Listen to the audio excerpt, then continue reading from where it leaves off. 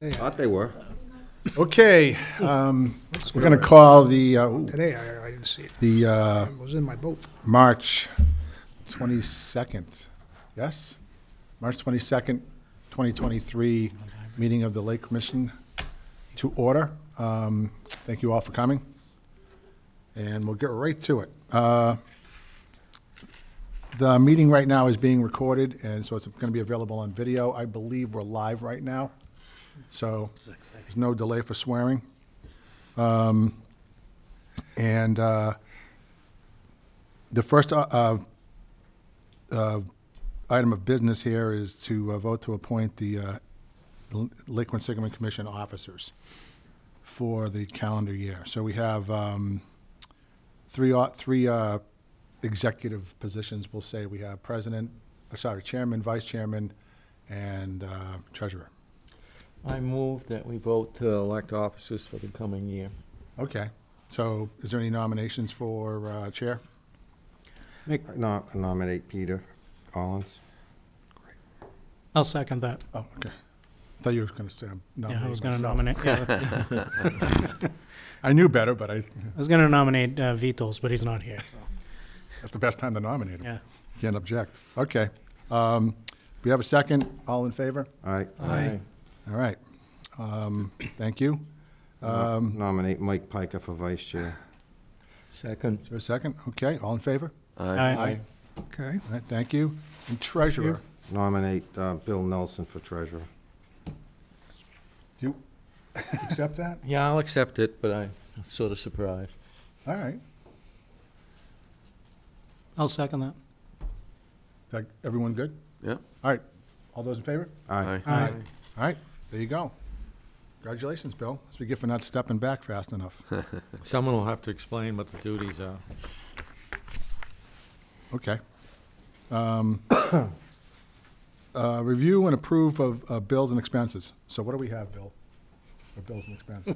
I am clueless. totally clueless. Maybe we should ask the Oh. previous treasurer. Alyssa, thank, thankfully. This is what you do, you ask Alyssa, that's, that's, So I have, we have to do the February bills and the March bills. So in February, we're doing some porta potty bills for the previous summer at the PD Boathouse. Um, and those come to 276.40 three times. And then this month, we paid the community advocate for the notice of refill, and that was seventy-nine twenty. okay. Those- That's February's Um, or, or January? the porta potties were Fr- fr- From last year, okay, Yeah. Okay. Um, Any questions or comments on that? No? Nope. Okay. Um, Is there a motion to approve? I make a motion to approve.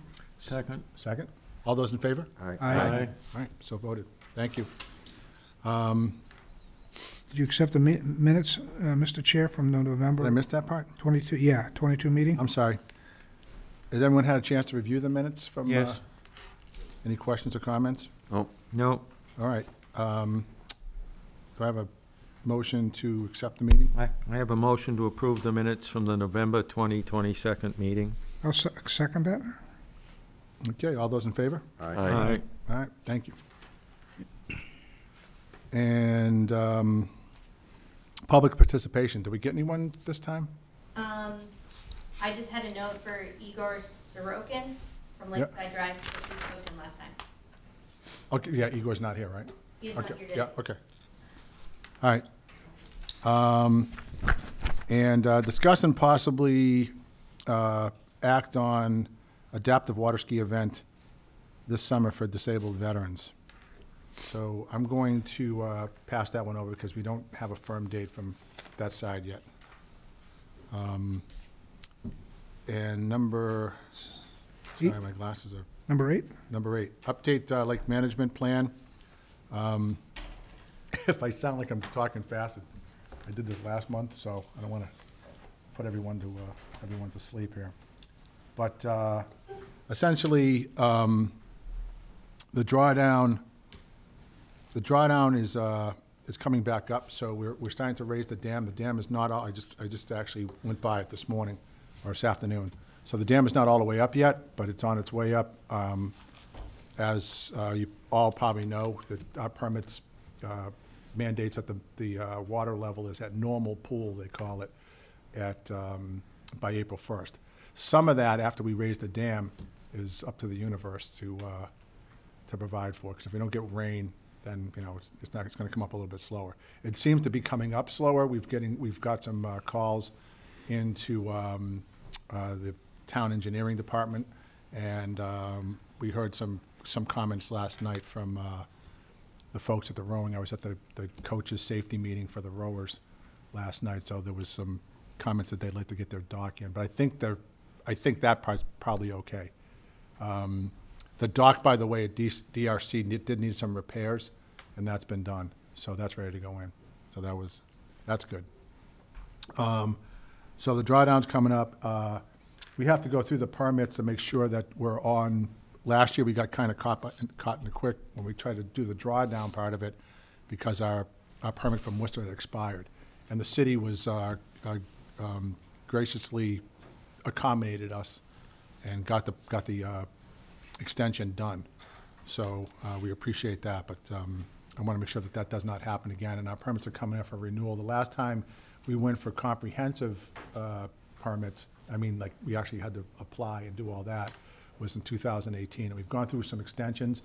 Um, The, you know, the whole uh, pandemic thing helped us in, in that um, the, uh, the administration at the time in the state, you know, extended all the permits, or, or let, or laid it out so you could extend the permits more easy.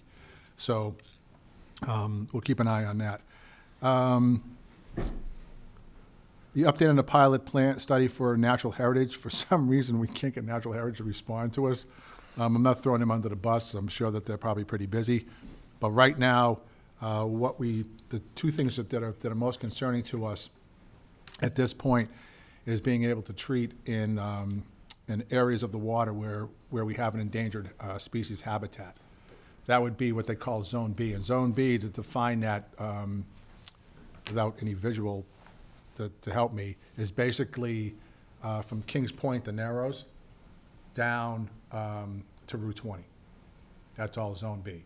So uh, we have definitely found, I'm going to say, um, that includes uh, South Bay, which is, and Half Moon uh, Bay. So Half Moon Bay, South Bay, um, uh,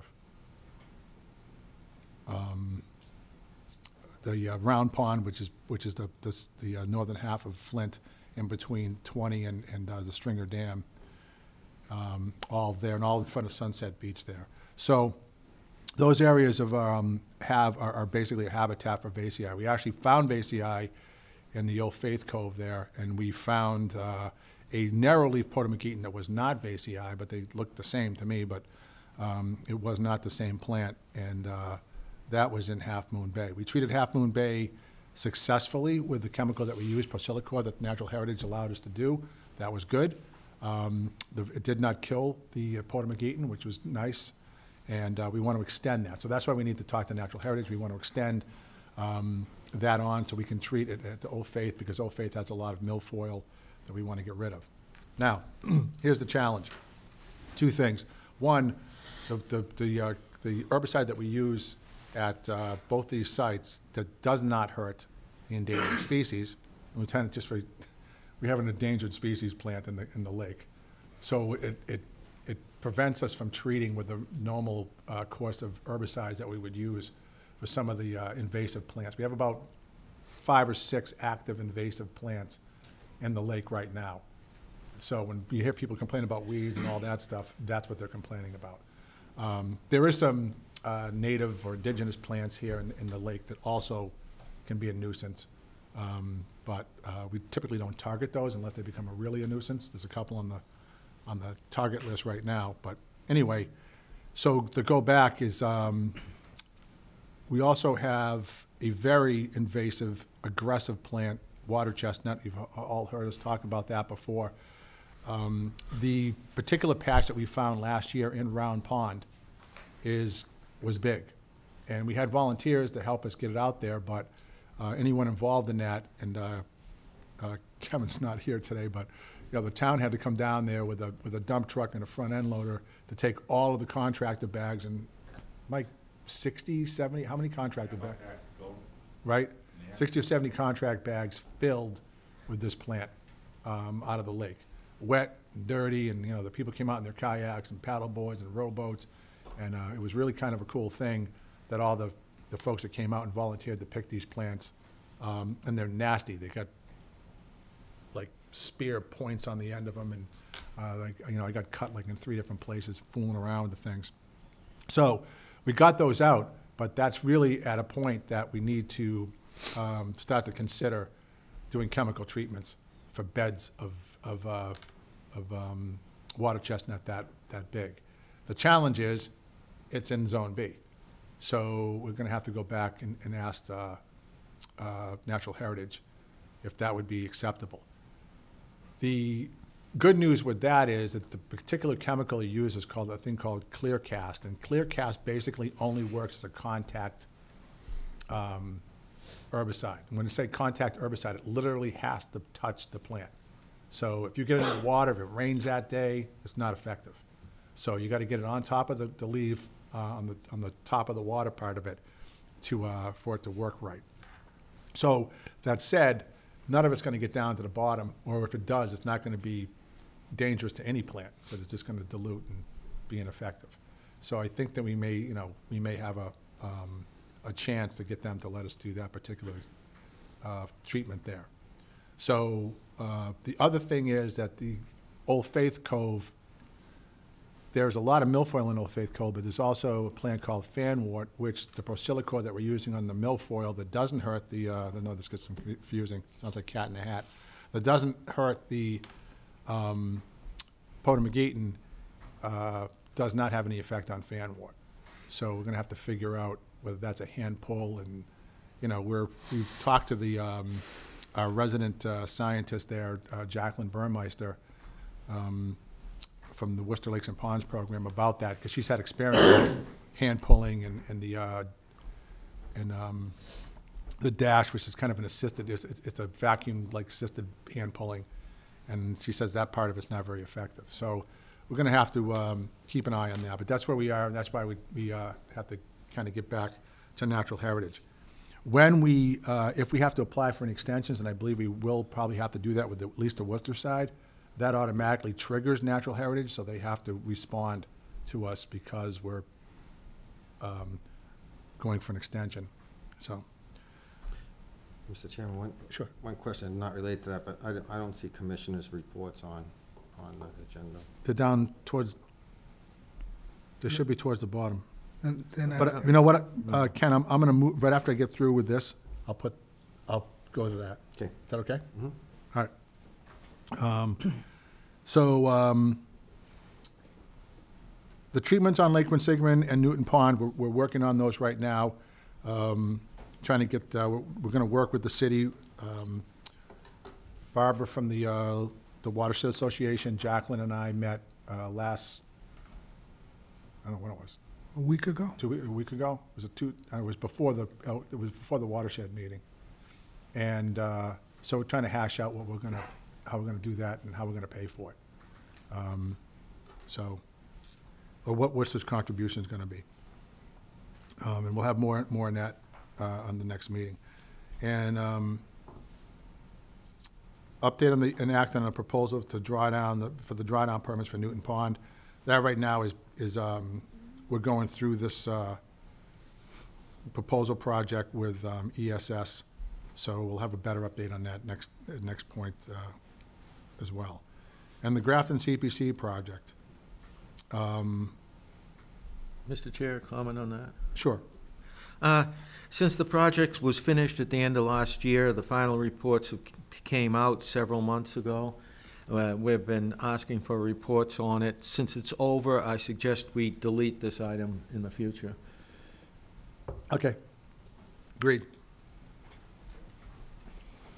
Um, And then, the last uh, point on this is to install two buoys at Kings Point. So, um, I'd really like to get that done this year. One north and one south of uh, the Narrows. What do you think?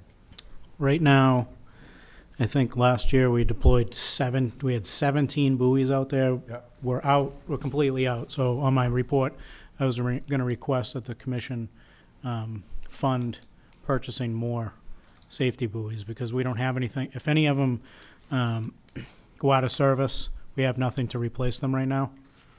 And I think, I think it was a little bit overkill at the North Quincy ramp, having three and three. I know it's slowed some people down, but to be honest with you, um, half the people ignored them.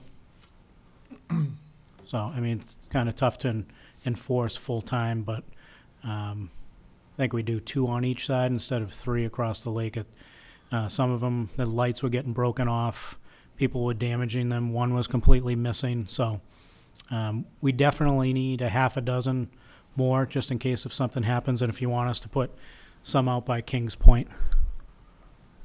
Okay, um, so, uh, do you have, do you have any idea, remember what, what the cost of those? I believe they're about two hundred and thirty dollars Yeah. a piece. Is that what About it is? that. Okay, all right.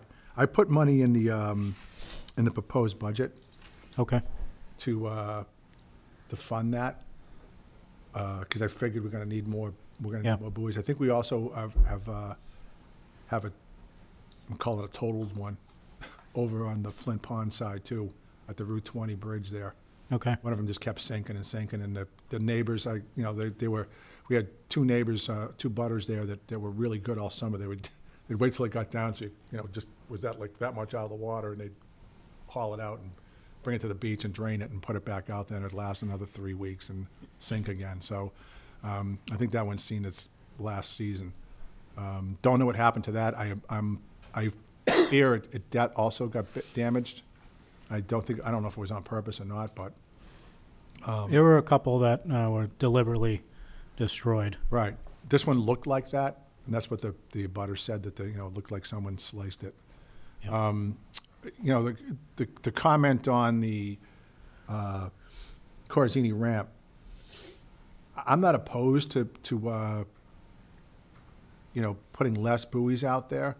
My concern, you know, two things, I, I thought it was fairly successful, you know, I've, I went out there and watched it, and, you know, it- and, um, it did seem to slow people down. And I think it's one of those things that they gotta get used to doing it. Some of it will be, a you know, a carrot and a stick too. I mean, we, I guess we have to enforce it when we see someone, um, especially on busy days when there's people at the ramp. I mean, that's really what the buoys were for, to kind of calm things down at that stage. Um, So that's good, you know, I don't know what we can do about people sabotaging like town property and, you know, you, you obviously have to catch them doing it, so that's, that's the challenge. there.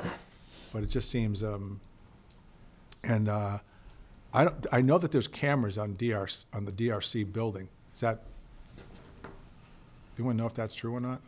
I don't They know if they to face be. to the water, though. I'm not sure it's if they're just the still parking lot. there, but they, none of them point out at the water. I- They all- One they all used to point at the point at the docks facility? and one pointed at the boat sheds.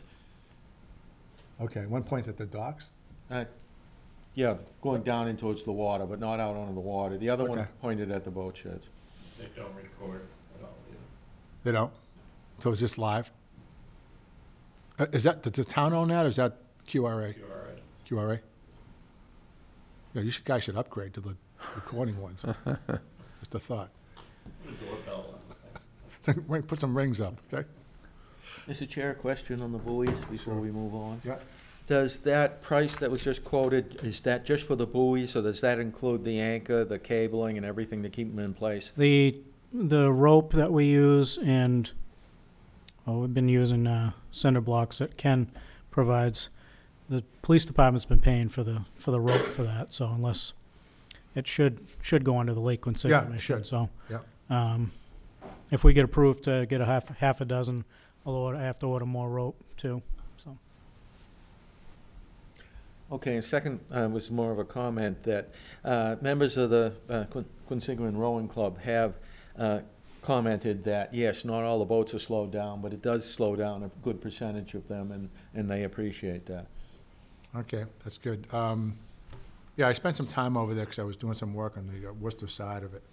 And, um, you know, it got, like you said, not everybody's slowing down.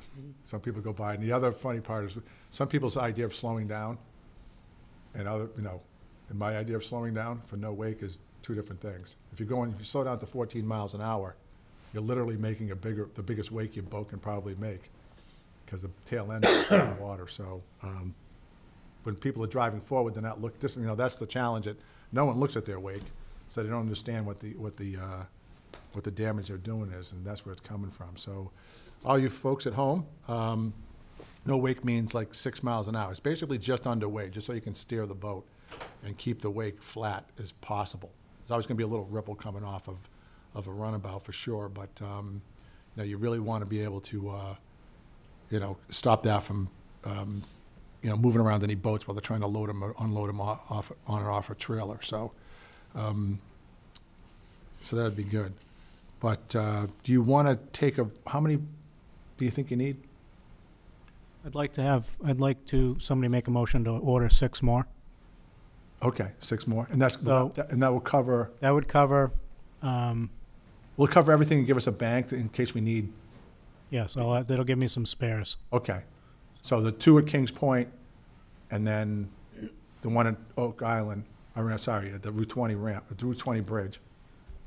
For Kings Point, do you want them north and south of Kings Yes. Point? Okay. One on the north, one on the Because there's south. not a lot of room there for people to come through as it is, so, Right, okay. that's the point, we want them to slow down. Yep. That's why I wanna put the buoys up there, Okay. so. um, But I wanna put, I don't wanna put them in Kings Point. I wanna, you know, I'm, like, Yep. on the, on the outside of the point, and on, not quite as big of a range we have at Corzini. Yeah, First I'll time we do, did it. I'm gonna do fifty yards each way or twenty-five yards each Yeah, way. to give them, to give them some time to slow down, because that's the other thing. If you put them inside the, the narrow, by Yeah. the time they slow down, they're through it. It's only No problem. thirty feet. Okay. Thanks, Uh, John. So, Mr. Chair, can I make a proposal that the uh, commission uh, finance the s- six buoys uh, then, as so uh, proposed by uh, Officer uh, Valier? Okay, so, um, at a, at a number not to exceed twenty-five hundred dollars, would that make sense?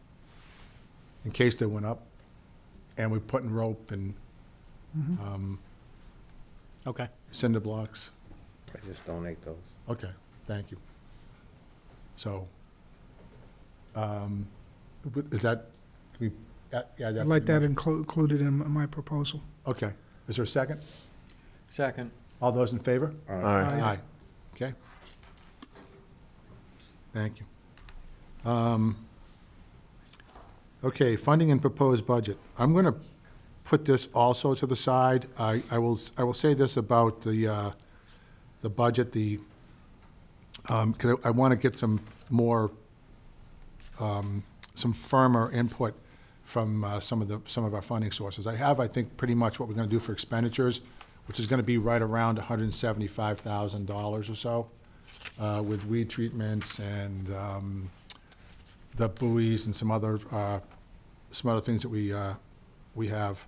So, um, we did get, uh, um, uh, Senator Moore has put in a, a request in the state budget for an appropriation for the Lake Commission for forty thousand dollars.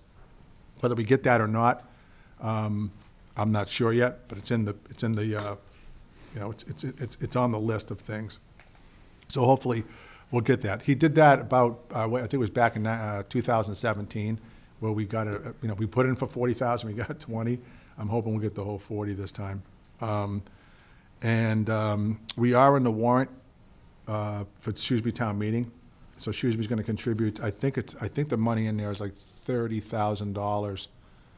Some of that is, um, earmarked, marked for, um, Jordan Pond and Dean Park Pond, and as well as Jordan Pond, sorry, as well as Newton Pond.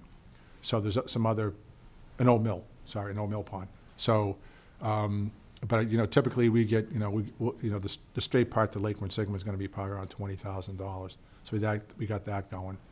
And, um, I'm not sure what Grafton is gonna do, so we probably need to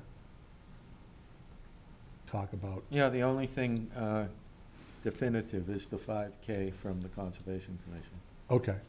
That's, that's come, that's co- coming again this year? Yes, should be. Okay, so that's good. And, um, and I think actually it's fair, so, uh, and, uh, we, like I said, we're still trying to work it out with Worcester. I think Worcester is gonna be a combination of, of, uh, possibly some money and some in-kind work. Um, you know, one of the things we struggled with last year was getting the, the permits and the bids out and all that stuff because it was just really complicated. Um, when we, when we did, redid the, uh, the permits in, in 2018, one of the things we wanted to do was, was, you know, it, it, before that, it, we had one chemical on the permit. It was diquat. It treated milfoil, and uh, it was a very effective chemical for milfoil. The problem is it didn't do anything to fanwort, um, you know, to the curly leaf pondweed and all the other stuff that we had in the lake that we needed to, to treat. So, um, we wanted to add more things on there, but when we did that, um, you know, it just made the bidding process a little bit more complicated, because, you know, what are we using it for this particular area? How many, um, you know, how many acres is, are we gonna treat and, and whatnot? So it got a little bit more complicated, and it, and it kind of, uh, choked us on the bidding process, which, which caused us to, to kind of come out late with treatments last year. We're trying to avoid that this year, so uh, Jacqueline, I know, is gonna help us, and she's been very helpful as far as giving us guidance on, on, uh, you know, what we should be looking at and kind of steering us in the right direction, so that's good. And um, there may be a chance, and I don't want to tell stories out of school yet, because I'm not really sure what's going on, but there may be a chance that Worcester will actually participate in um, one of the treatments directly from the city. So they'll actually take it over. The city's got some, some funky um, rules with, as, as far as like paying out stuff, and they, the commission isn't technically a vendor, so they can't give us money. Um, I'm not really sure why we can't be a vendor. Uh, we changed the charter because that was the first thing they, they were concerned about, and so was the town of Shrewsbury. And we changed the charter, and the town of Shrewsbury was fine with it, um, but we couldn't get Worcester to, to, uh, to go that way. But it doesn't matter in, in my mind if they decide, okay, we're gonna treat the milfoil at, uh, you know, um, at Half Moon Bay, then great. They can pull the permit and, uh, no, sorry, we already have the permit. They can, they can uh, do the bid and go and treat it. I, th- I believe as long as we're okay with it, and this is something I guess we gotta go through Concom to figure out, is if someone who's not on the permit can do the application. See, not the application, I'm sorry, I said that wrong. Will, can do the treatment. So that's, what- I, I, I do have a, um, I have had a discussion with, a, um, with a, is it Leah or Alea? Leah. Alea? All right, so I've had a discussion with our, with our new conservation agent here in Shrewsbury, so, um, I know she's looking into that. Any questions? Okay, um, Number 10? and then, uh, no, there's one more thing in the, in the budget, I don't wanna, oh, and there's also the dock plates. And one of the things that we could use, uh, some help from, uh, law enforcement is that you guys have the list.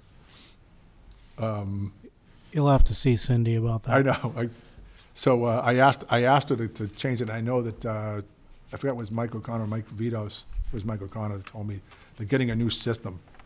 Yeah, we are. Because the one, because the one in that you had was back when, I don't know, when they built the building, I guess. Mhm. So it wasn't easy to get information out of it.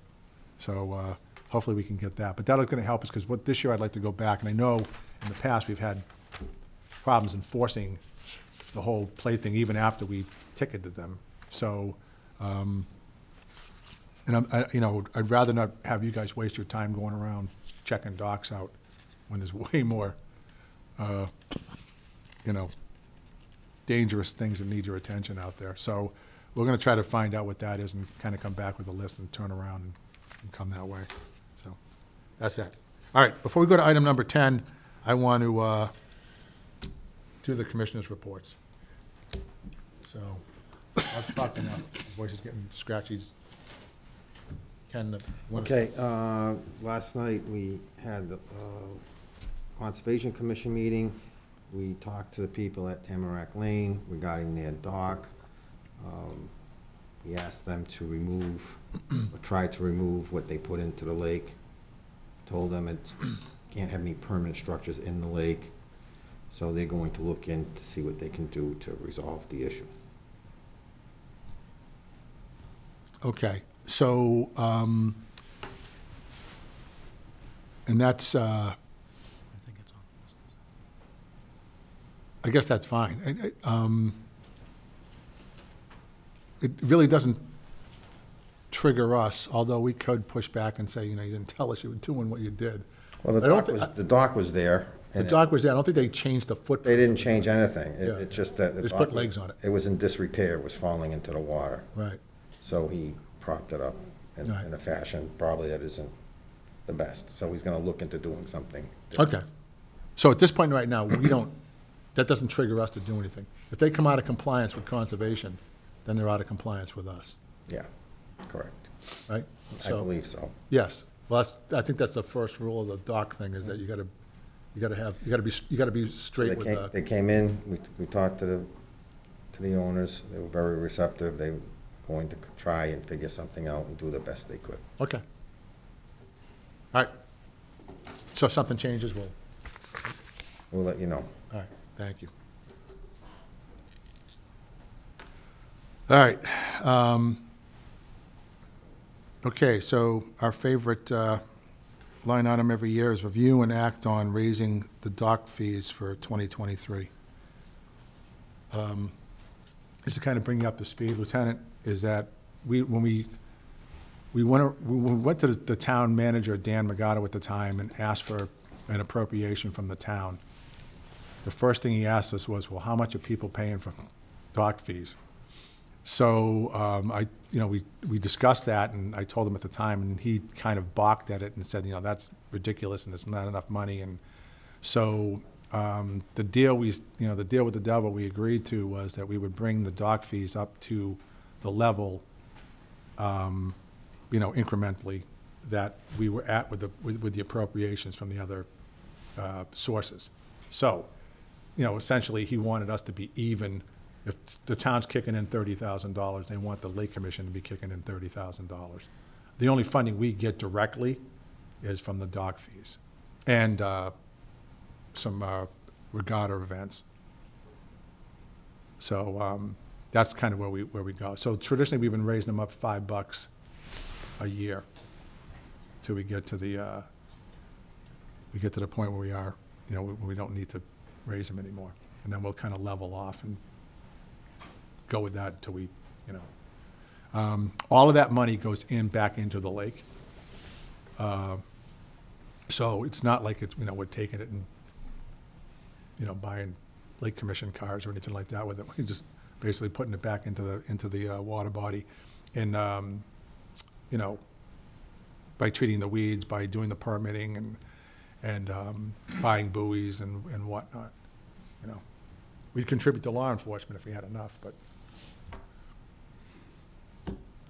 we, we don't. So, um, so that's where we are.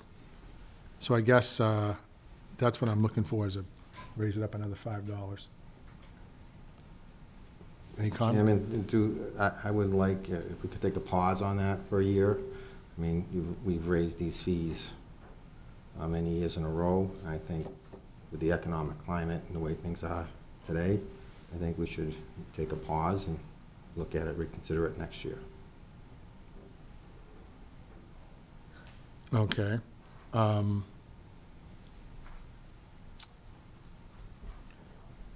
I guess, um, you know, my comment, I'm not sure why we want to do that, and and I'm not sure the economic conditions you're referring to. You, the economic conditions, Correct. everything has gone up, gas, food, taxes, everything. So why do we have, I'm gonna just take a pause. Well, because everything's gone up. Treatments, buoys, all the stuff we do. So I mean, we're, s- we're caught in the same dilemma as everyone else. That mean, doesn't mean we have to follow suit and raise up. We can take a break. That's just my opinion. We have many other people on the board. Right, right. Have a discussion. A comment? Yes. Uh, I believe it was either three or four years ago when we decided uh, that we would raise it up a certain amount each year, which turned out to be five dollars Mhm. instead of one big lump sum.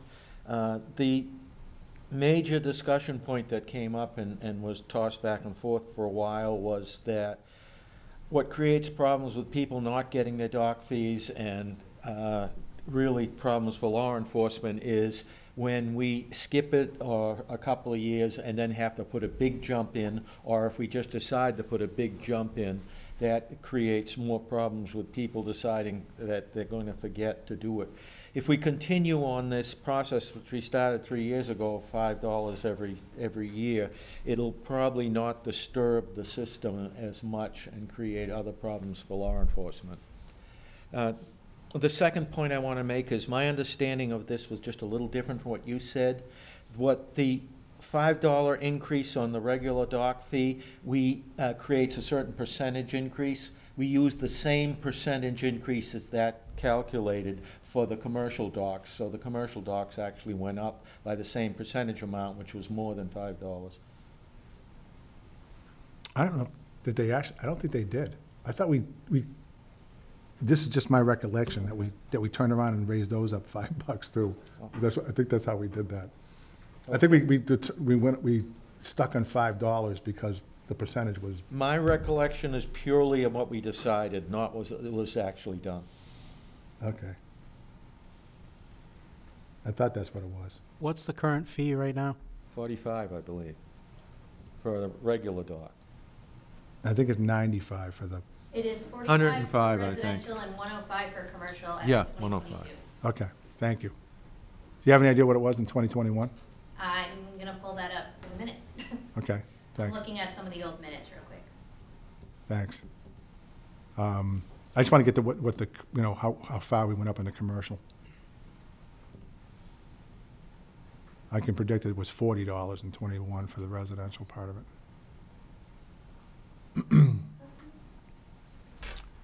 The other thing we haven't, um, I mean, a- and I think the other, the other thing we need to do, and, you know, uh, is to crack down on this, on the scofflaws that aren't paying for the docks at all. So, and I, again, I, I know that, uh, I, think- I forgot how long ago it was, but I, these guys went out and they, they basically wrote up every dock.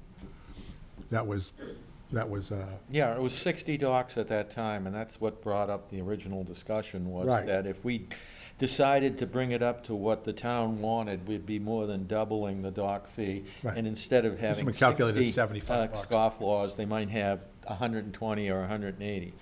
Right. I can, I can um, say from just, you know, going around Flint Pond, my neck of the woods, that there's probably seventy percent of the docks over there are not plated, or don't- either they're putting a current sticker on it. That doesn't mean they don't have a current sticker, it just means it's not on the dock, which is the rule. The rule is that not if you have a sticker, you don't have a sticker, it has to be on the dock. And you can't have a boat parked on it. Twenty twenty-one fees were forty dollars residential and one hundred for commercial. So we went up They were both raised by five Five bucks, last okay, year. that's what I thought, all right, all right. Okay. Um, I guess that's where we are. Do you want to do a motion, or, any- oh, sorry, does any other comments or questions? I made my comments. All right. Is there a motion? To raise them, and, No, I'll, I'll make a motion that we continue the uh, uh, tradition we started three years ago of raising the dock fees by five dollars a year. all right, both commercial and residential. So the, so the motion's gonna be to raise dock fees to fifty dollars residential and hundred and ten for commercial, correct? Correct. Okay, Is there a second? I'll second the motion. All right, all those in favor? Aye. Aye?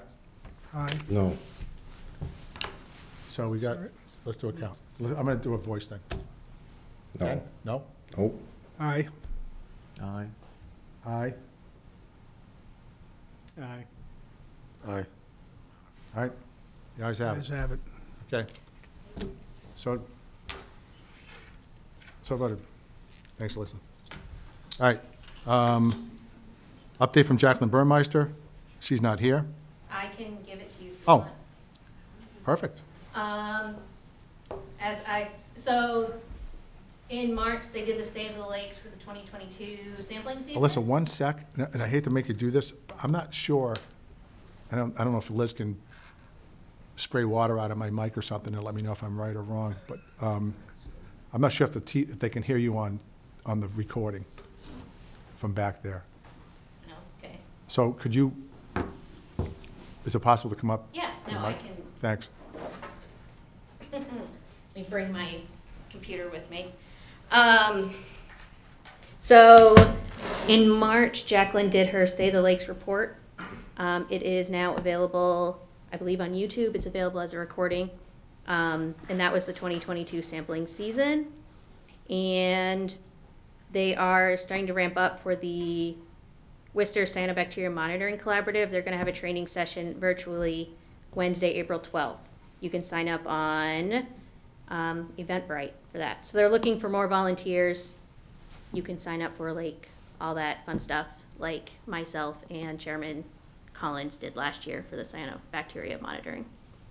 Um, I think that's it. For us, Yeah. you know, um, experienced citizen scientists, Yes. do, do we need to go to the training again? Um, I think it's more just go and listen to it. Okay, Yeah. And then because they, they There give us may or our may not stuff be there too, we swag get the us. tube and the official, Yeah. No, we don't have to like go and manually do it, but you can go and sign up for your lake or spot. oh, okay, It's it's kind of an update meeting as Okay. well. all right, perfect. Is that, was that it? That was it. Oh, okay. She didn't tell me anything else. She usually is like there for like 20 minutes. I condense it. Thanks.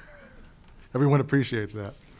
Um, And uh, update from the representative of the Lake Quinsigamond Watershed Association.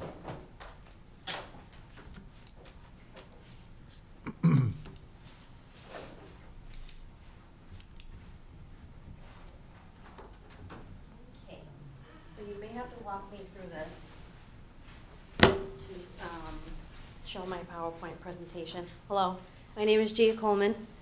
I work with Barbara and Mike for the Watershed Association.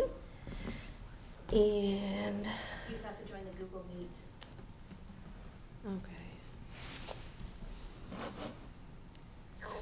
okay. Let's see. Let me Find it.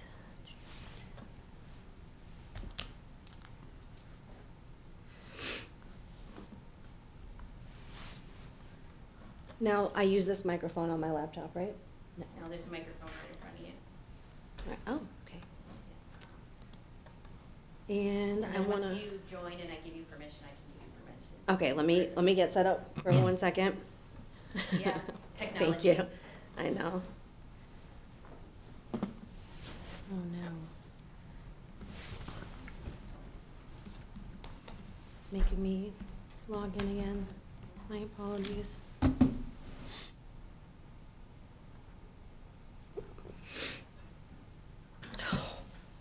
And I have to, of course.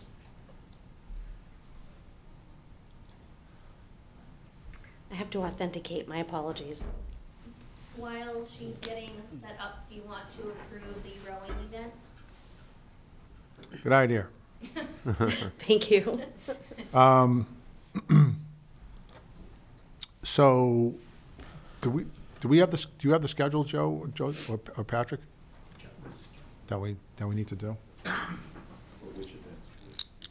You wanna talk about the summer events this summer, because we already have. Yeah, well, uh, we didn't have quorum last time, so I think we also need to approve the spring, I know, just for the record. And then we also have the July one. Is there another one besides that? I'm sorry. That's it. Approve the uh, spring ones in October. Oh, yep, you're right. The spring ones are approved, right? Yeah. Yeah. Yes. We did that at the October meeting. Yep. So it's the July 30th uh, Masters event that. That's correct. That's the we only were one we got. unable- We discussed it last meeting, but we were unable to vote on it because we did not have a quorum. Correct. That is correct. All right, So, um, I know we sent the packets out last week. I'm Joe May from the Worcester Boat Club, 790 Pleasant Street in Worcester. Um, Harry is in Costa Rica, apparently. He informed me of that today, so good for him. But, um, yeah, our regatta is July 30th, and um, we intend on racing between 8 AM and 11:30 AM on Sunday, July 30th. we'll have half of Regatta Point Park. Everything will run out of Regatta Point at that, uh, per our request. And there should be about 125 participants at the max. Okay. And uh, you, you, and the, the, the standard permit stuff that we have in the permit, open lane, That is correct. As defined, we will have a reverse pattern. We'll Right. go up to the start line, which will be at uh, about the 1,000-meter mark up near the gazebo uh, at Eastern Point. Mm-hmm. And everything will terminate at the finish line at at Regatta Point. We'll Okay. keep- We'll maintain an open lane for, for travel, uh, up and down, Up in and between heats. correct. Yeah. But on the other side, on the Shrewsbury side, we'll allow boats to be there. We'll have police and um, fire on the water, EPO on the water. Okay. All time. And you, and we have all those permits. You, you do have all that, yes. Okay. And no ramp closure, correct? No ramp closure. You do have to get the, did you get the state, uh, EPO? No, we, we, we're in process of getting the EPO permits. We wanted to set this date first before Okay. we pull that. All right, So this is the first, this is the primary one for us. Once we do that, we'll, we'll secure all others, which will be with the DCR. okay. There you go. Aliens. Um, The date was July, what? July 30th. 30th, it's a Sunday 30th. morning. Okay. July 30th, Sunday morning. All right. Correct. Uh, Any questions, comments from the board? We got it? Okay. Is there a motion? Make a I'll motion. motion that we Oh. approve the regatta, Masters Regatta on July 30th, uh, sponsored by uh, the Regatta Point Boat Club and the Quinsigamond uh, Boat Club. Is there a second? Second. Second. All right, all those in favor? Aye. Good to go. Thank you. Thanks, Joe. Thank you. Thanks for com, thanks for coming back. Um, So, uh, how are we making out, Gia? Are you able to, uh, hit present? I think so. I just want to make sure I got my notes up here. Um, This A that's on the screen in front of me just keeps reminding me of Alvin. all right, I haven't started Chipmunks. sharing my samples yet. I mean, my, my presentation yet. I've s- I see the word sampling, I say it like a one-trick pony. Okay. Um, so all I have to do now is share my screen, I believe. But my notes are not showing up, so. Do you see me? Am I good on your end? Yeah. Does anyone by chance know how to, There's like a box at the bottom with an up arrow. the up arrow, well, no, the, to see the notes on a PowerPoint? No. Like usually shows up. We'll have, you can do presenter mode. Show presenter view. Oh, you're an angel. Both of Just you make sure you guys, share your screen. angels. That was an angel. Yep.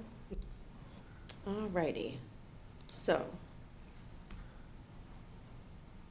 Share the screen. I don't know who I should be speaking to. These lovely people. Okay. So you guys are gonna have a nice new audio-video system. We are. Oh, We won't have these problems. It'll just, it'll just work. Okay, here we go.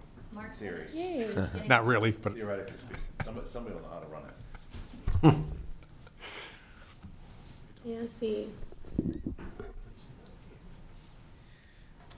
Yeah, see, I want it to be, no, that's okay. So it should be able to show my notes up there, or not show my notes up there, I but think they're you're in happening. presenter mode now, right? Yeah. All right. So we're just gonna do hide presenter view, and we're just gonna start from the beginning, All right, okay? perfect. Can you see me okay, hear me okay? All right. So myself, Gia Coleman, and I work with Barbara Kickham and Mike Liberty. We are the three amigos when it comes to bacteria sampling in Lake Quinsig. Uh, what we do is we um, go out every year and we sample the tributaries. So that's the main focus of, of who and what. Um, we also partner with the Lake Quinsigamond Communication, uh, Commission and also, uh, Jackie Burmeister, who we consult often, uh, very kin-like to us with, uh, DPW, Lakes and Ponds. Um, our main goals are to sample locations found around the lake for E. coli, um, from the tributaries. We have eight sample sites, and we have two midpoint sample sites, which help give us a good, diverse um, assessment when we do sample and test. Um, We analyze the results, and then we send them to um, Mass Surface Water Quality Standards. We submit them to the DEP every year, and we also report that to the aforementioned LQC and DPW. And it is a public surface. Um, a very nice one, I would say. Um, our sampling procedure, we go out every year, we take ten samples, um, at ten sites. So we go, we try to go every two weeks, sometimes we hit three weeks, sometimes we hit three and a half. Um, we do collect all other types of data as well. We collect actual bacteria that we, um, con- hire with, um, another, uh, sorry. The whole tech thing kinda got me a little, we work with Alpha Analytical, and that is the, that is our laboratory, that's who checks that side. And then we also do imaging, um, we do videos, and we use that data to compare what we see during the sampling season and also between other sampling seasons, which this year will be our fourth sampling season. So we're very proud about that. Um, let's see. We do have a qual, um, a quality assurance project plan, which has been approved. This is our third edition with the help of, uh, Mike, Barbara, and Jackie. We have been able to update it quite easily, so that way we keep all of our data quality still at that top tier, because that is also one of our main goals too, is to provide data quality. Um, oh, the fun part, okay. So we have, we kind of split it up between North and South Basin. Um, we have six sample sites in the North Basin. Kind of works out, you know, well. Um, then we have four sample sites in the South Basin. And I don't know if you guys can see this okay, but they're pretty, they're, they're spread out, spread out pretty evenly, but also the main focus is to have them at the tributary. So these are sites that we know about for um, years. We've been, you know, studying impermeable surfaces. We want to make sure if there's developments or whatever characteristic it might be, when all of that water coming from the city is coming into the lake, we want to test it. And this is pretty much the, the extent to which we test. Um, the North Basin, we have Coal Mine Brook, which is one of my favorites. Um, it's the, probably the largest outfall we have. Um, it takes that really good part of Worcester and all of that storm drain water that comes in, so we test it there. We have Tilly's Brook, which comes from Shrewsbury, um, a very unique spot. Um, in addition, we have UMass outfall. Um, we are no longer testing UMass outfall every year because it has been consistently within compliance with the standard. Um, so we're gonna start testing that every three years. And we have Belmont Street outfall, which has been, I would say, the spring breaker of the, of these sample locations, so, The opposite of the yes. Um, in compliance. but it's, it's, it's also nice because we get to see the beginning of the, you know, the Burns Bridge, so it's really, really kind of a nice spot. South Basin, we have my favorite, Meadow Brook, which is a, a wetland, it's a marshland, there's a lot of protection, conservation in that area. Um, we have Fitzgerald's Brook, which is surprisingly an underground tunnel that goes up to Anna Street, which I had no idea until I saw a tree stuck in it once. Um, and we have O'Hara Brook, so that's right by the old Whitla, um, pumping station.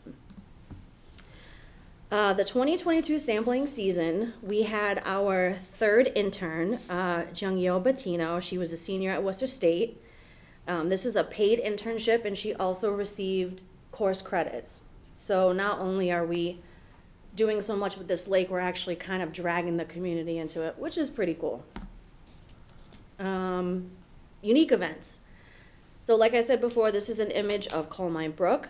Um, it was consistently under the exceedance threshold. Um, and we also have, I have precipitation up here just to kind of show what precipitation looked like last year as well. Because after a big rain event, we do have seen, uh, we have, you know, made some correlations between high counts and precipitation. Um, this, a lot of data, so I apologize in advance, but this is basically what everything looks like, um, for data. All of our, um, exceedances, where they belong to, and it also kind of gives you a little snapshot of what the standard looks like too for the water quality. Um, it's a new standard, so we, previously we were doing, um, an average, if you will, called a geometric mean.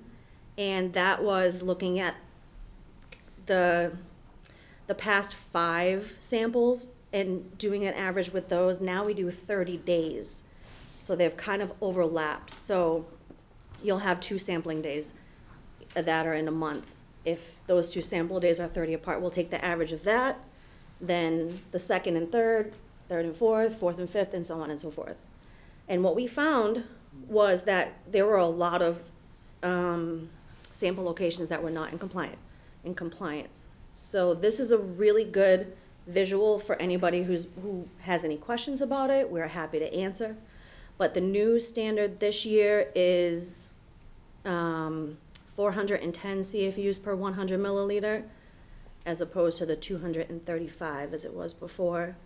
And then the geometric mean that we talked about, that hasn't changed. It's just the time um, element that has five to 30. Um, let's see. The sample sites with no bacteria exceedances, we had three. It was UMass, the North Basin Midpoint, and the South Basin Midpoint. Um, so that's why UMass is no longer going to be tested every year. And then um, our main heavy hitters in Belmont Street, Coal Mine Brook, Billings, Tilly's, O'Hara, Fitzgerald's, and Meadowbrook. Meadowbrook kind of barely got, got in there, but it did have one exceedance, which put it into that, that category. Um, this is a really good graph of the, the way that each sample, each sample site looked as we were traveling through the season. So you have every graph, every, every um, column represents a sampling day.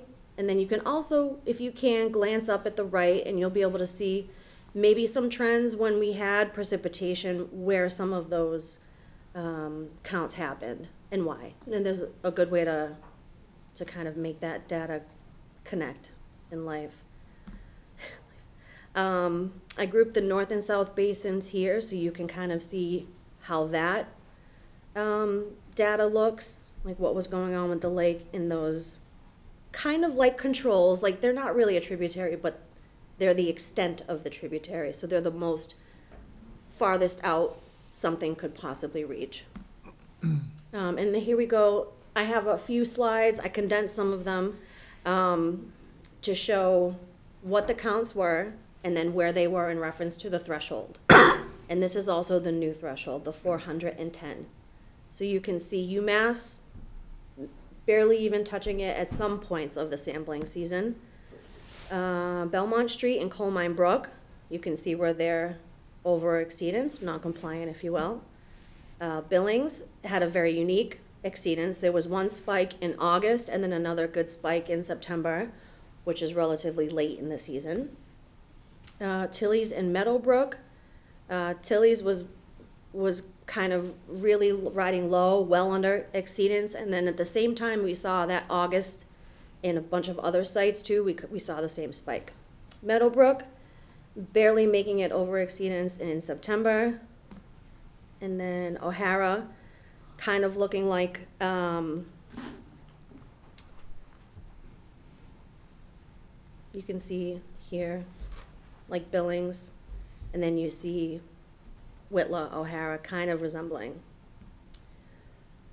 This graph is a three-year plot diagram of, you'd have to look very closely, but it is color-coded, so it's easy for you to see kind of what each sample site looks like in each year. Um, that's a, de- definitely dedicate a nice cup of tea and a quiet environment should you decide to look, but, but it is a very good graph to show you what the lake looked like for three consecutive years. So we're very excited to have that data. But the most important, I think, image on this screen right now is to look at the geomeans and look at our, I like to, I like to consider them our heavy hitters, um, the ones that we send to title fights, if you will. They are the ones that are, they're very, the same ones that have very similar counts. So it's good to, to really have data to back up for what tributary to keep an eye on, kind of maybe even take another granular approach of how do we want to assess this, these particular sites? Do we want to look at tertiary data? Do we, you know, so it, it's inviting in that way. Um, so some of our very interesting findings that we found over the past three years um, we've had residential complaints of odors and appearances at Belmont, Coal Mine Brook, and Tilly's, and those three happen to be areas that have high exceedances. Uh, Lake Ave Pumping Station, uh, SS overflows, SSOs. Um, we had one last year. We had stormwater discharge from shopping area right near uh, Billings, so that plaza. We've seen there were two, maybe even three. I think there was three cyanobacteria events that we saw. We couldn't really get it out, but we we did um, reach out to Jackie to let her know that we saw it. So now we can establish like a baseline of data to where this is happening. And we saw a lot of it last year. Well, two events for sure. Um, there's a little bit of trash buildup in the middle, great blockage at Belmont Street, but DPW has been uh, good about sending people out, cleaning it. Um, Beaver Dam, there's a beaver dam upstream in Meadowbrook, and there's also a beaver dam, I think, at Billingsbrook, like right before that. Barbara. agree. I don't think there's one. There's, there's, We have an ongoing argument. we do, it's just a lot of foliage. Yes. Yeah, there is no wood, I would say, but there is one at Meadowbrook. Um, and that was reported by DPW Shrewsbury. Um, we we do see a lot of recreational activities. We do see a lot of trash. However, there's an angel that goes to Brown Beach and picks up most of that trash. Um, is that Bill? Bob? Neighbors are, yeah, do the cleanup there. Yeah, there's there's one one volunteer and specifically that really does a good job um, going out there like every Tues every Tuesday. Um, the intern last year, Jung Yo, she did notice that there was a lot of construction um, near the Belmont Street area, so we kind of looked at it. We actually did find some reports. Um, there's been some, you know, thoughts on it, but I think it's just rainwater. I think it's just precipitory of precipitation events. Um, but then there's also construction uh, to the park adjacent to Coal Mine Brook. So these are all things that are, are unique. Um, this year, one of our most important findings is, you know, a new impermeable surface at the Route 20 cutoff near Market Basket. That whole new parking lot just came in. So that is going to be another tributary that we actually have decided in the watershed we're going to start testing it. That is going to be another sample location. Um, as I mentioned before, impermeable surfaces, it's just basically an influx of water.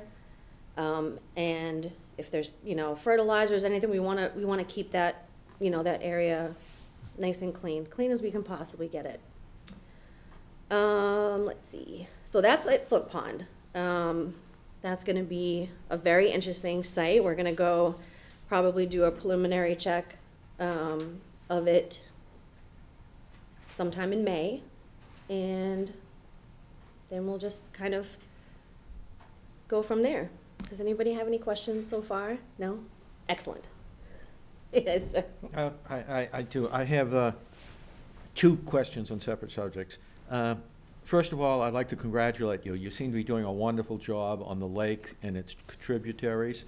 But uh, my two questions are uh, uh, going a little beyond this excellent job that's being done on the tributaries and lakes. Uh, So my first question is, uh, there are groups in the Blackstone Valley that test the water in Lake Quinsigamond. I'm thinking the water flowing out of the lake now. And also other groups sponsored uh, by the Blackstone Valley Association that test the water in Uxbridge where West River and the Blackstone and the Quinsigamond meet. And so I'm just wondering, is there any comparison done by anybody between the data that is collected on Lake Quinsigamond and the data that's collected downstream to see if there's any correlations in what is observed? Um, we are always on the hunt for, for data, but Barbara's gonna weigh in on this, because she's my muscle. No. I don't know if you can hear me over there. Um, We, um, the, so the Blackstone River Coalition does different sampling. They're not, they were sampling at uh, Poor Farm Brook, but because we took over, they said, we're not gonna, because they have limited resources. So we haven't really been comparing because they're doing um, a, a lot of other um, analyses. Um, And all of the data goes to DEP, and they're using it to assess the waters. Um, So, Okay, so the, the, essentially, it's- the data's sort of, it has some sense of incompatibility for comparison purposes. Second question, moving on then. Uh, We have discussed at, at these meetings in the last several years, on and off, and, and, and- and nothing definitive has ever come out about it, but it's been brought up that when we do have these events in the lake where there's contamination, there's a question of whether it's due to the geese flocks on the lake, whether it's due to humans because there's a sewer overflow out of Worcester, for example, which we've had a couple, or whether we've had a big rainstorm and all the dog's feces that are washed down through the drainage system into the tributaries and leaks. So I'm just wondering, eh, can you comment on any more thought has been given into the, this idea of doing DNA testing on these outbreaks to conclude whether the problem is dogs, humans, or geese, because that makes it much easier to treat the, the real part of the problem rather than trying to treat all three at once. That has been a, a topic of our, um, our meetings and not even outside of our meetings on daily basis. Mike, do you wanna weigh in? Cause I know you're very, very passionate. yeah, we're, um, we do want to do that. Yeah. Um, It's, ti- it's a matter of a timing thing. So you collect the sample, you have to collect the sample for the DNA, and it's just, like, when you get a sample bottles from Alpha, they're free, basically. You pay for the analysis, you don't pay for the bottles. But for this DNA sample, you pay for the bottles, and it's very expensive, and you pay for the analysis. So we have to do it at the same time, basically collect the sample for bacteria, collect a sample for DNA, mail it off. And so it's, we just haven't done it, because it's very, it is a lot of money. Um, we think that the majority of the, uh, the sources is animal. Could be, we don't know if it's raccoon, we don't know if it's dog or whatever, but it's primarily probably animals. Would be nice to know if there was a sewer leak, if we could do, you know, find out if it was human. Um, but that's, that's what's been kind of holding us up. We were hoping to do it, um, two summers ago at O'Hara because it was very consistently really high. And then Jackie went out and did one sample and it ended up being very low the time that she did it. So it's really, it's difficult, but we'd like to do that. Okay, well, I want to congratulate you. You're thinking about both of these important topics, and you've done some uh, approaches towards seeing how to do it, so uh, I appreciate that as well. Thank you. Thank you. Um, thank you for saying that. That's very, very um, thoughtful. Um, so, in addition to the testing of Flint Pond, the top, the very top of Flint Pond, we're also going to add another. Um, we're going to kind of make a swap for the UMass one and test at the Lake Ave pumping station. So, figured we can, you know, all hands on deck with with that one. Um, so we'll have, we- previously we had ten sample locations and now we'll have eleven, with the exception of the one year where we do test, um, for UMass Outfall. But other than that, um, it's been a, a pleasure. Okay, um, that, that, it was excellent, Gia, thank you. Um, and, you know, I, I, I totally agree with Bill, is that this is, I think, one, is an important program, um, and we should be doing it and expanding it, and two, that, uh, you know, you guys have done a really, really good job, um, getting this. I mean, you know, the, the, the QAP part of it, which is basically the, um, standards that you have to meet, you know, that's, that's an important thing, and it's, it's good that we, we have that experience now, after these three years, that, that, uh, you know, we can take this on ourselves, so the, the watershed is, uh, you know, there's always been a tremendous help to the, to Lake Quinsigamond. I agree with you wholeheartedly.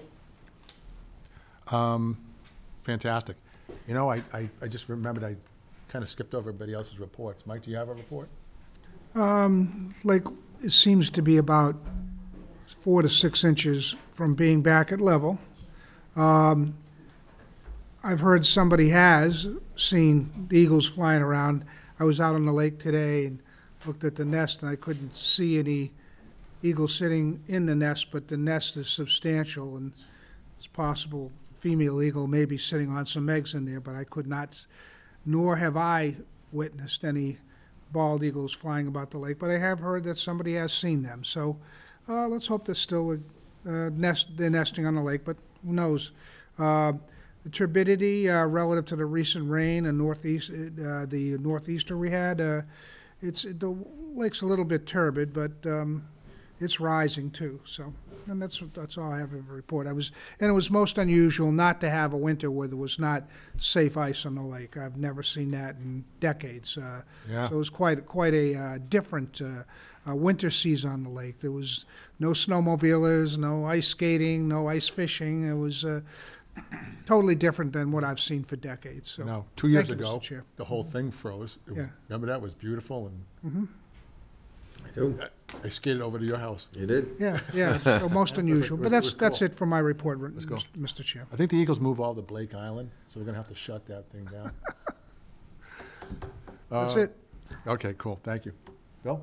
Uh, okay, I guess just one thing. I, I got an email yesterday from the Quinsigamond Boat Club that, uh, announced that the town had told them they were putting the docks in this Saturday, uh, at the Donahue Boathouse, so that, uh, again, with no ice and it fairly warm, that Yeah. people could start rowing. But it also warned that it would be under the winter safety conditions, uh, uh, vests uh, required, uh, whistle required, cell phone required, no, uh, no single rowers, uh, and so it looks like the boat club is getting ready to start operation, but they're, they're doing it in a safe manner. Okay, good to hear. Thank you. I, I can say this, you definitely want to wear a vest if you go in the water. I've been in the water a couple of times. It's cold. It's cold right now, so, uh, it just sucks the breath right out of you. So, wear your vest. Um, Sergeant Garen? New boats in. Sweet. Um, We're gonna have it on the water on April tenth through the fourteenth, uh, for some test runs, uh, learning it, learning the, how to do it during a a class that's put on by environmental police. I have twelve officers that are gonna be boat, um, Wow. able to operate the boat.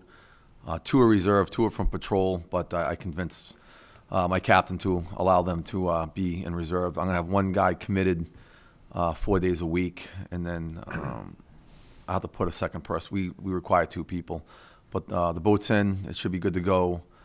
Um, this summer, without a problem. I mean, we, we're getting registered right now. We, the boat just came in. We're, we're going through the process of registering the boat, but it'll be on the water on the 10th for test runs on Lake Quincy, so everyone gets familiar with it before the start of the season.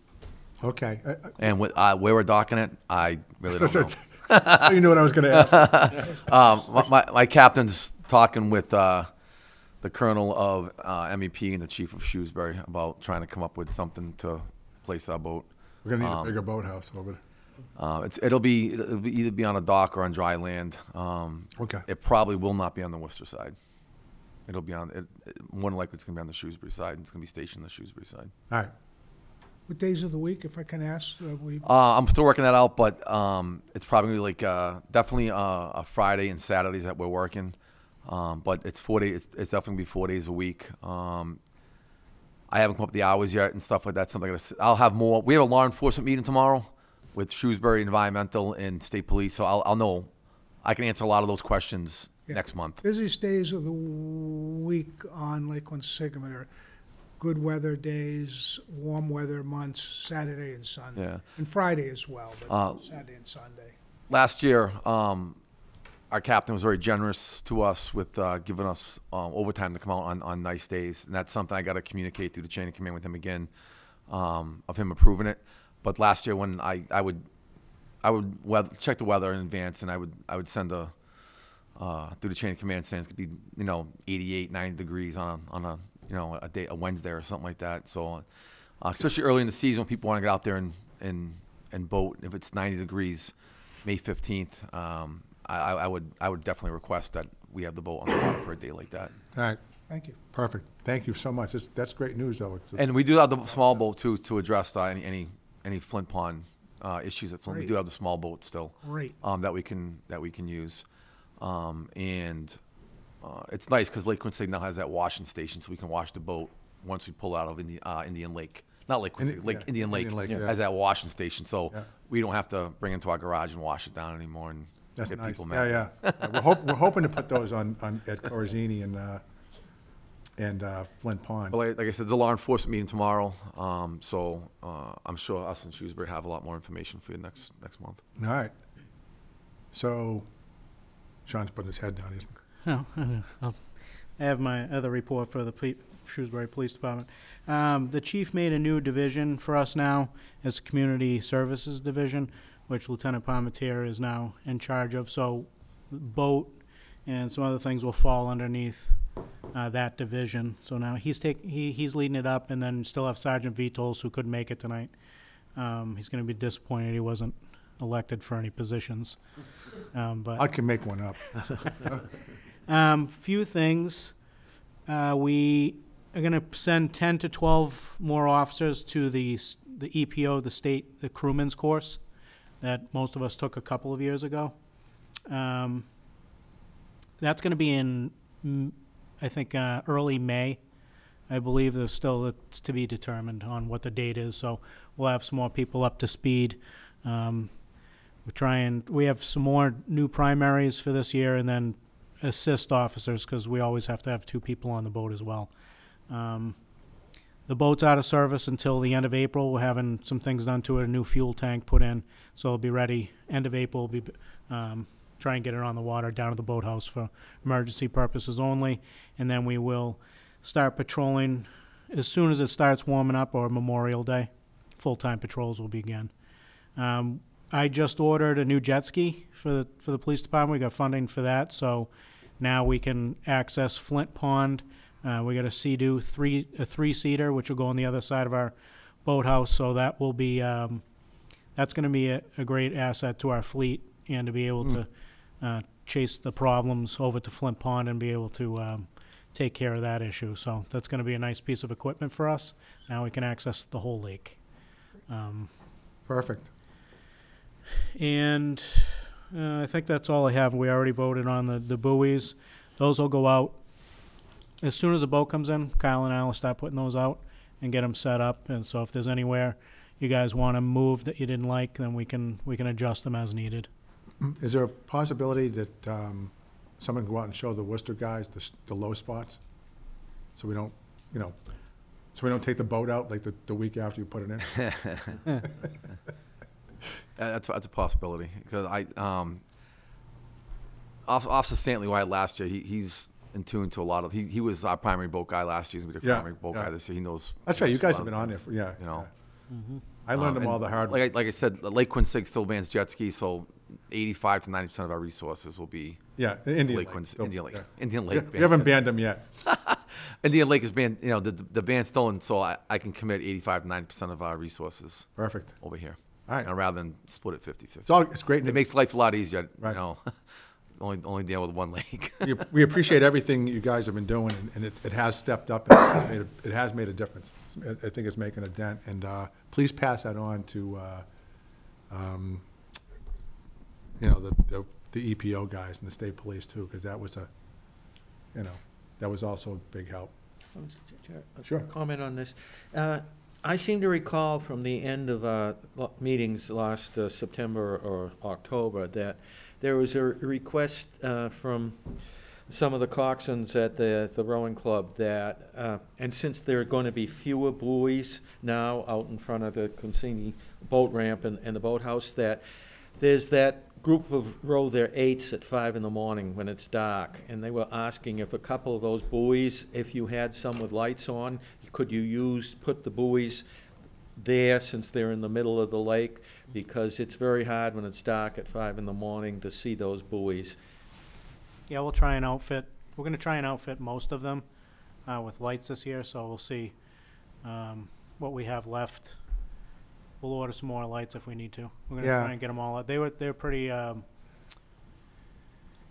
helpful last year. I'd say at nighttime that they were really bright and people seem to like them. Yep, Um, helps you navigate a little bit more at night as well, so.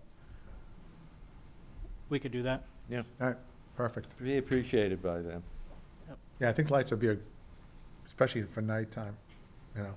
Okay. Could, do you, I mean, we, if it were, if me, we could, and I know this, I'm, you know, volunteering your, uh, you guys are the ones putting them out there. If you need any help doing that, please let us know, and, you know, I'll be happy to go out and, Thank you. and help you guys.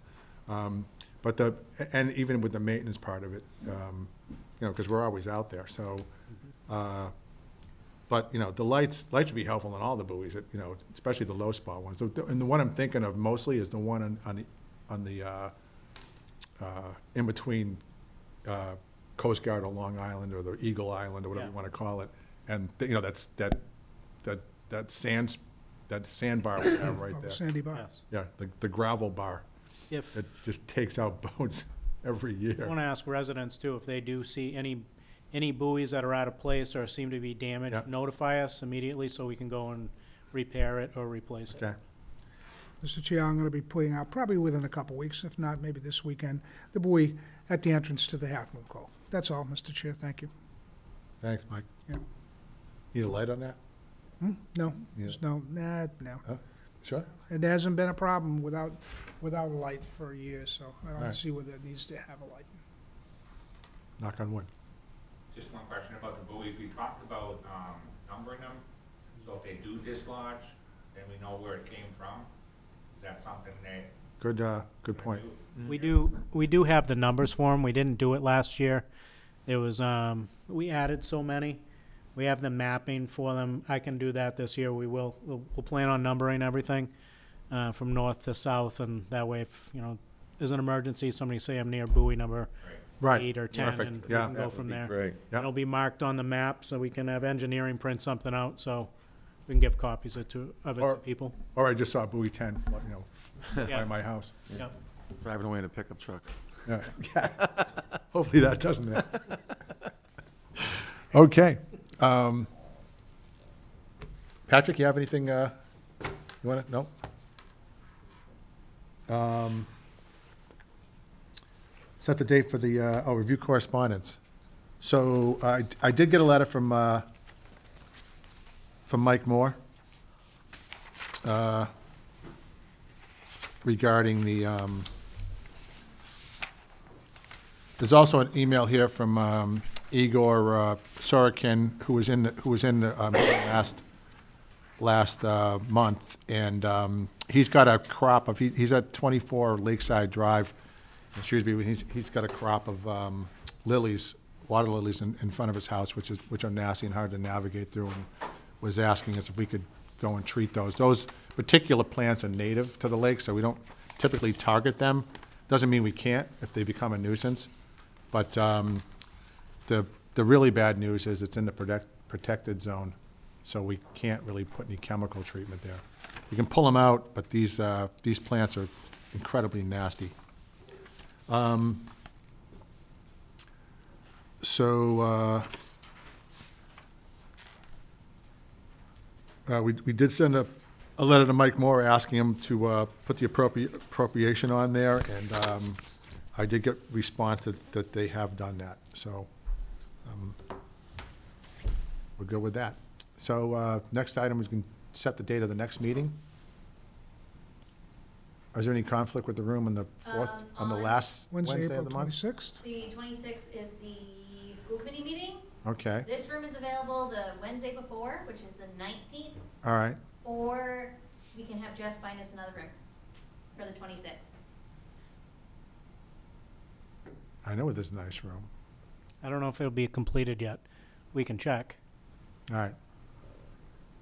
And we kind of reached out that, about that, and I'm sure Yeah. like everybody else has to, everyone, I everyone. know they're, they're currently doing trainings on it, Right. uh, the facility, the training room, Mm.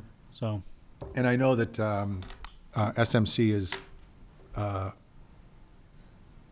they're gonna be, they're gonna be putting in equipment. So, so it's gonna be similar to this, where we can just kinda come in and film it and do all that stuff and, Yeah. and have them, uh, have them do it. So it's not a, not to set up cameras and all that. But, um, I guess for, for next month, unless we go back to DRC or something, we can, I don't have a problem with the, what'd you say it was, the nineteenth? Yeah, the Wednesday before. Does anyone have an issue with? the 19th? Works, that's good. Is that good? That's good. What, the 19th then? Nineteenth? All right, so April nineteenth at seven PM In this room. in this, in this room. Mm-hmm. Great, thanks. Okay.